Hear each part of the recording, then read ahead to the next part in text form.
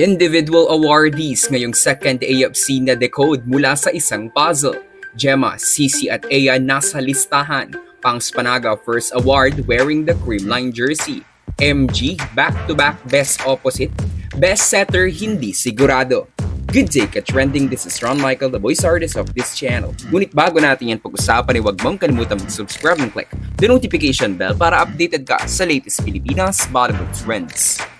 Kumakalat ngayon ang litratong ito sa Twitter kung saan hindi lang ito basta collage picture ng iba't ibang movie personality dahil kung ide-decode natin, ito ay naglalaman ng mga PVL Second All-Filipino Conference Individual Awardees. Disclaimer muna ka-trending na hindi pa ito opisyal. Wala tayong individual players na pinapanigan. Mas maganda pa din kung iintayin natin ang awarding ceremony. For our best outside spikers, unahin natin ang larawang ito.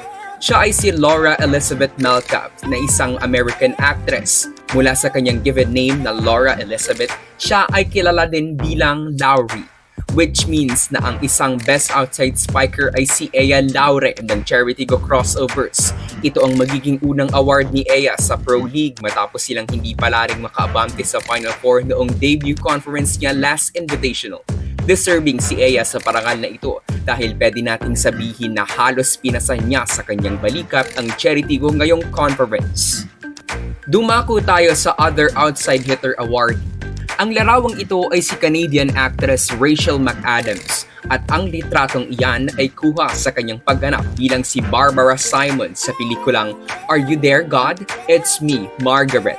Isa lang naman ang Margaret na kilala ng lahat at yan ay walang iba kundi si Jessica Margaret Galanza.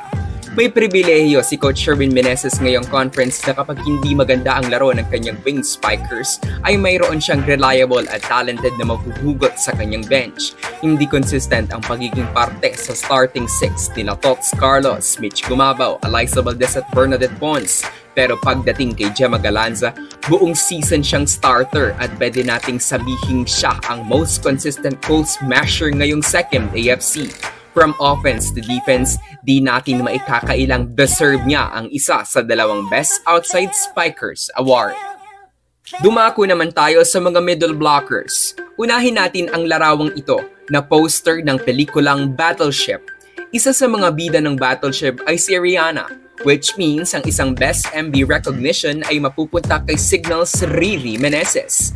Kung sakali ay ito ang magiging ikalawang Best MB Award ni Riri matapos siyang magawaran ng kaparehong parangal noong 2022 Open Conference. Para naman sa isang middle blocker, ang litratong ito ni Carmi Martin sa pelikulang Four Sisters in a Wedding, gumanap siya bilang si Janet Bayag, which means the other best middle blocker is Creamline's Janet Panaga.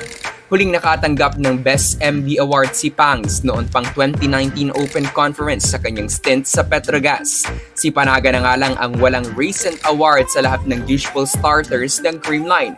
At ngayon ay ito na. Matapos ng ilang conferences ng paglalaro sa Creamline, balik sa pagiging top blocker ng liga si Panaga.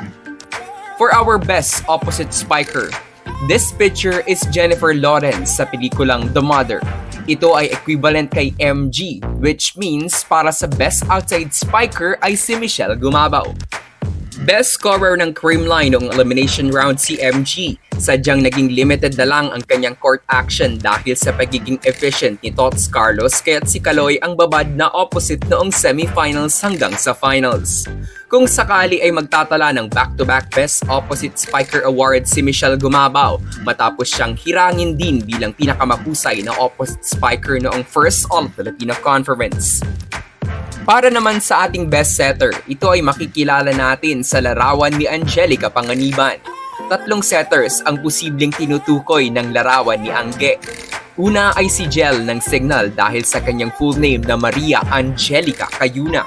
Pwede ding pumasok dito si Negrito kung saan ang buong pangalan niya ay Kyle Angela Negrito. Pero pwede din dito si Dina Wong. Bakit? Ang litratong ito ni Panganiban ay mula sa pelikulang Unbreakable, kung saan siya ay gumanap bilang si Dina. O di ba, witty? Pero sino kaya sa tatlo ang magiging best setter ng second AFC? Para naman sa ating best libero ay itong picture ni Tony Stark. And this means ang ating best libero ay si Tony Rose Ponce ng Chocomucho. Buong season napawawa ang mga fans kay Tang matapos ang magaganda niyang pagbasa sa mga palo ng kanilang mga nakakatapat. Kaya naman eksakto sa kanyang digging position ang mga atake ng kahit pa mga most efficient attackers ng torneo. Ilang linggong na mayagpag si Tang sa pagiging best digger at receiver. Kaya naman no doubt if siya ang itatanghal na best libero. Finally, para sa ating season's MVP ay ang litratong ito ito ay si Tom Holland sa kanyang pelikulang pinamagatang Cherry. Sinong Cherry ba ang MVP frontrunner ngayon? Wala nang iba kung hindi si Cherry Ann Cici Rondina. Si Cici ang isa sa mga pinakamalaking dahilan kung bakit nasa finals ang Choco Mucho. Without her, pwede itong panibagong bawi kami next season para sa Choco Mucho. Kaya naman kung itatanghal bilang season's MVP si Rondina, deserving siya sa award na ito. At for sure, madami ang matutuwa dahil dalawang conferences pa lang naglalaro si Rondina at pagkatapos niyang bumalik sa indoor volleyball ay itinanghal na siya bilang MVP agad. Kung sakali man na ito na talaga ang final at opisyal na listahan ng awardees ngayong second AFC, hindi dapat natin questionin dahil deserving naman ang mga pangalang ito. Pero para sa iyo, sino ang iyong mga predicted individual awardees? Comment down the names below. So that's it for today's video. Get trending. Do not forget to subscribe and click the notification bell para updated ka sa latest ganap ng women's volleyball sa Pinas. Thanks for watching. Bye for now!